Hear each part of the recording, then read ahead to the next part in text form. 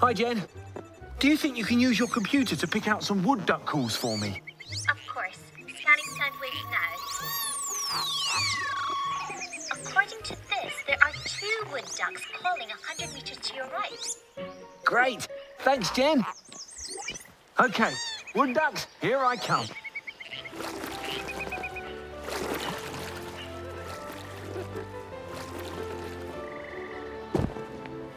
Wow, it's a wood duck chick. Oh, it seems to be stuck up a tree just like the ones at Safari World.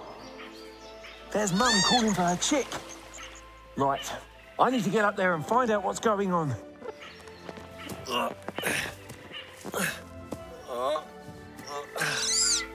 Oh, there's Dad. Don't mind me. Oh,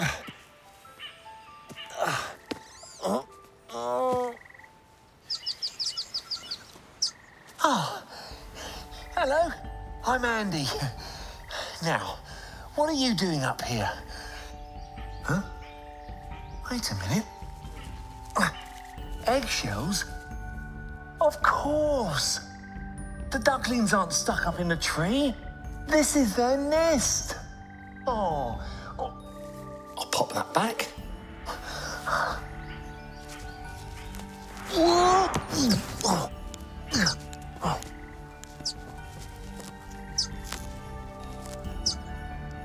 Lay her eggs in there and then the chicks hatch out.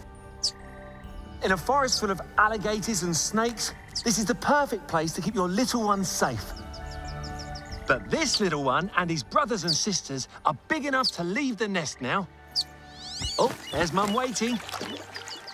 But how are they going to get down?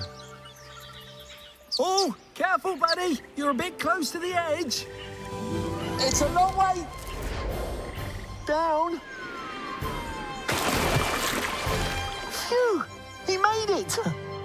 The ducklings are so light that falling all that way doesn't even hurt them. The rest of the ducklings don't look too sure, though. Maybe they need some encouragement. Come on, you lot. Follow me. Okay,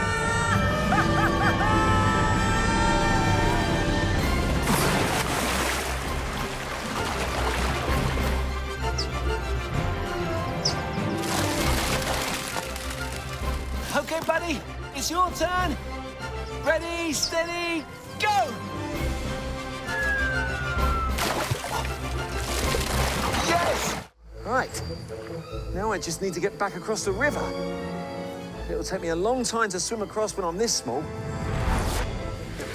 Whoa! What was that? Oh, it's a basilisk lizard. Well, we've got these back at Safari World. They're also known as Jesus Christ lizards because they can run on water.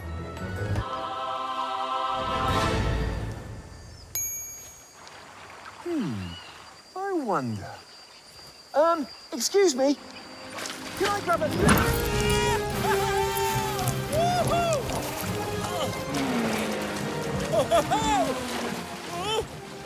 This is amazing!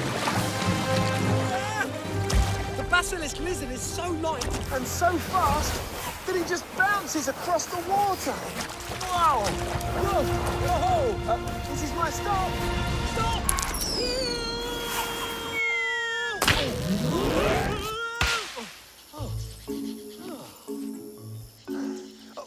Thanks, my lizard friend.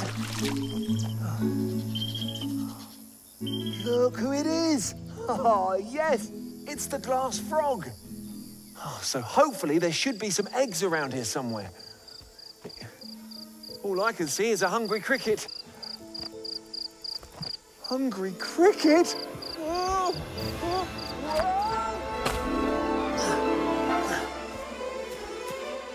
Uh-oh. That male glass frog is so small, the cricket could eat him. Jump away, buddy. He's looking straight at you. Why isn't he jumping? Hang on a minute.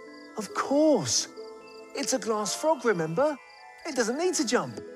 Their see-through skin is the perfect camouflage. Look, the cricket hasn't even noticed him. Oh, brilliant.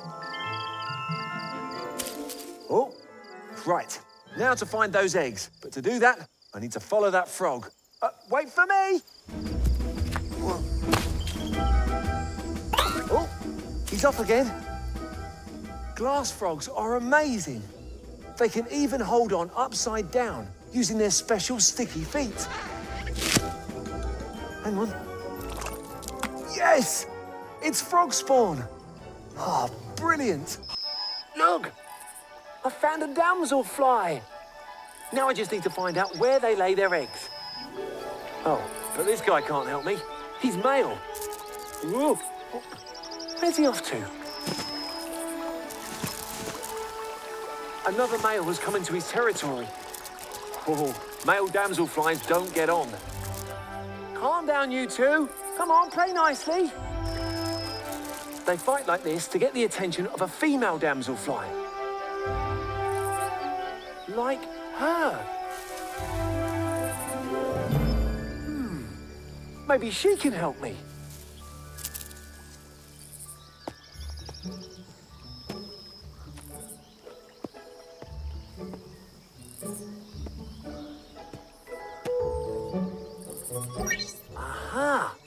Here on my gizmo that this damselfly is pregnant. So if I stay with her, I'll be able to find out where she lays her eggs. Do you mind if I tag along?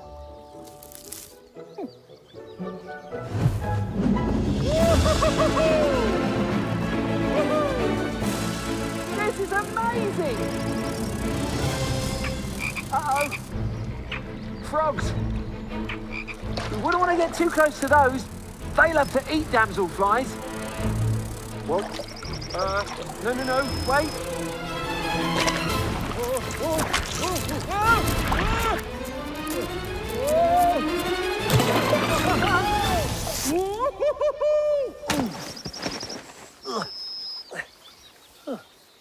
But I don't fancy doing that again anytime soon.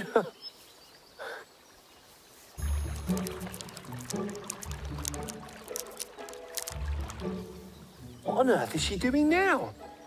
It looks like she's about to head underwater. Well, that's strange. Oh, well, there's only one thing for it. Upload sub-aqua gear.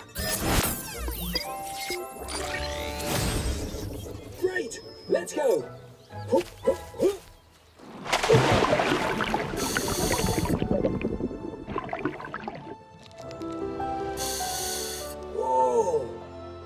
Breathing underwater?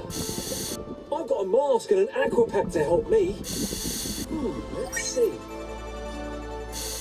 It says here that her wings trap a layer of air, and that's what helps her breathe. Ingenious! Huh? Now what's she doing? This is one of the strangest adventures I've ever had. Oh, I see. She's cut a hole in that stem and laid her eggs. They'll be nice and safe in there until they hatch. Amazing. And still no sign of any pygmy geckos. Oh, hello. A pygmy gecko. And it looks like he's doing okay. Oh, that's a relief. Saying that, it is dry. Ah, I spoke too soon. Well, at least I get to find out how he deals with floodwater. Huh? Where's he gone? There he is.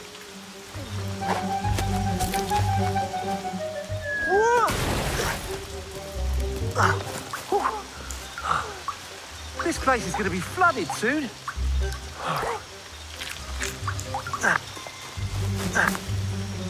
There you are. How are you coping in all this rain? I'm surprised I've managed to stay this dry.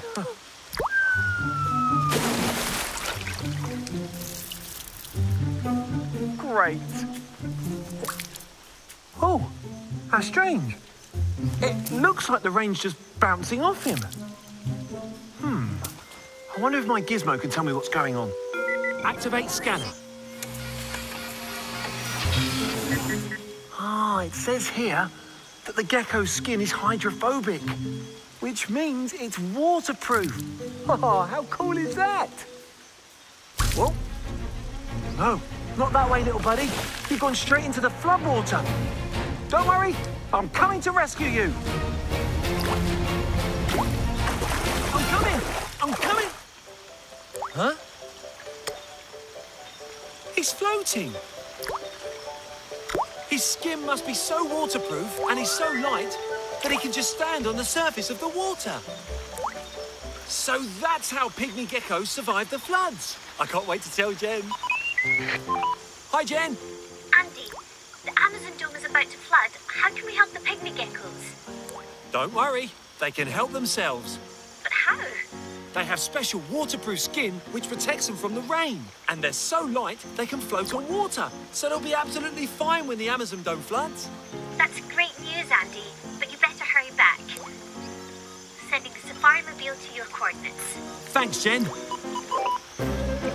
Oh, see you later, Pygmy Gecko. Thanks for your help. Back to normal size.